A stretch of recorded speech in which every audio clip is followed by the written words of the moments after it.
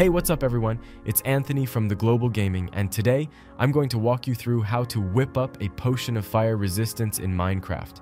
Whether you're dodging lava or just want to stroll through some fire, this potion is your best friend.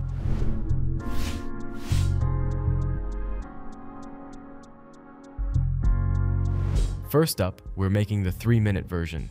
You'll need blaze powder, a water bottle, and some magma cream. Start by firing up your brewing stand.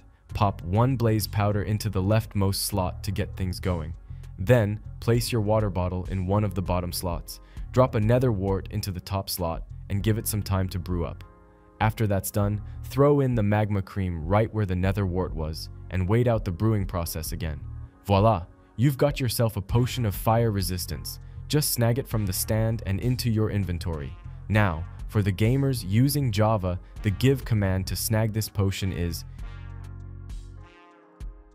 for my friends on consoles and Windows 10, you'll want to use give AP potion 112. But wait, there's more. If you want to extend that fire resistance to a full 8 minutes, just start with your 3 minute potion. Add one blaze powder to your brewing stand to activate it again, place the 3 minute potion in a bottom slot, then top it off with some redstone dust.